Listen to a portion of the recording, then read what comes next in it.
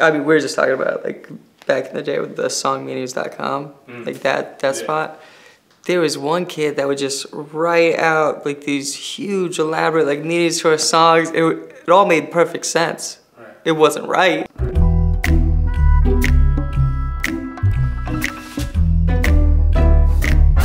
I, I picked up this bass and I started playing this bass line. And our buddy Asa, Asa Taccone was back there hanging out and he heard the bass line. He had heard something in that, so he had me track this bass bass line. And as I'm doing it, he's like, he's like, hey, you got another part in there? You got like a bridge for me? I was like, yeah, sure, like I got this line. Before we knew it, we didn't even realize that we were doing anything. And after about 45 minutes or an hour, we just kind of realized, hey, I think we have a song here, which is interesting that it ended up being our single. It's just the way songs should happen, in my opinion. Laid down some like just scratch vocals, just a, a, rough vocal, which is actually, I, I'm pretty sure that's what's on the performance too. The first two verses are just from that session. Can't keep my hands to myself. Think I'll dust them off, put them back up on the shelf in case my little baby girl is in need. Am I coming out of left field? That's such a that's such a crafty opening. So you don't know which way the song's going to take you at that point. Um, you don't know what that implies. Uh, I have a little daughter named Frances. She's five years old now. And I guess over the course of this album, she's obviously been growing, growing up. She was two and a half, three years old when, when we started working on this record. So her growing up has been a huge part of this record. And I think this song especially some of that stuff just kind of seeped into the lyrics as I was I was writing. I'm a rebel just for kicks now. And that was the first lyric that, that was wrote for the song. Finding the first line, and once you got that, then you just kind of go with it. A rebel just for kicks is the guy who's going to go out and tell you the truth about politics and tell you the truth about religion, and he'll do it in a funny way that's real and serious, but he's also not going to vote because he doesn't trust government. I've been feeling it since 1966. So 1966, I, I wrote this lyric mainly because it was the first year, like the acid test year. The riots that went down in Chicago was the start of the Black Panther Party. Uh, the music then that inspired that movement and that generation was caused from you know, social and political climates that are very similar to what's going on now. Might be over now, but I feel it still. Ooh, I'm a rebel just for kicks now. Let me kick it like it's 1986.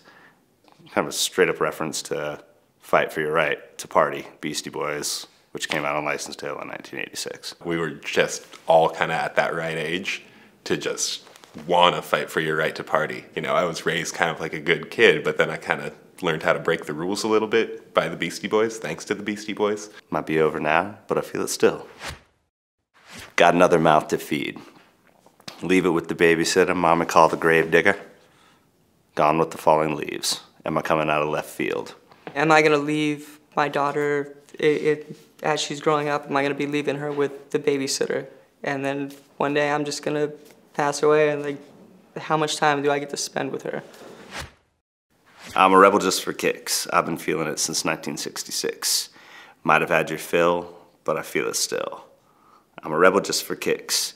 Let me kick it like it's 1986. Might be over now, but I feel it still. With with our lyric changes in in the chorus, it it is very subtle stuff, and it's something that we tend to do quite a bit. You know, I I think it's it's important, especially being being a rock band in a way, like to have this fluid movement that that isn't held up by like you're not hitting that wall of here's the block, here here comes the chorus block. We could fight a war for peace. Give in to that easy living. Goodbye to my hopes and dreams. It's a George Carlin quote. Fighting a war for peace is like fucking for virginity. It's just banging your head into a wall over and over and over. You're not gonna win. Start flipping for my enemies. Or we could wait until the walls come down. It's time to give a little to the kids in the middle, but oh, until it falls won't bother me. It's, it's another one of those lyrics that just kind of seeps in with all the talk right now of building the wall at our borders and and the Berlin Wall wall it was it was so much just like the image that you had in your head growing up that these people are separated by a wall And why do we need that?